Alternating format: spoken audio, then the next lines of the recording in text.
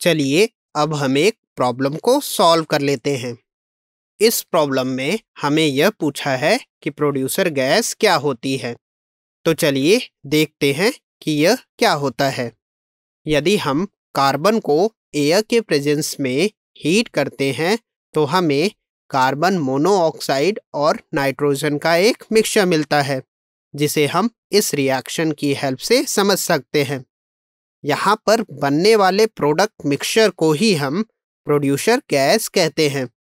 इस मिक्सचर को हम आयरन और स्टील इंडस्ट्री में as a industrial fuel use करते हैं। आई होप आप समझ गए होंगे कि प्रोड्यूसर गैस क्या होती है।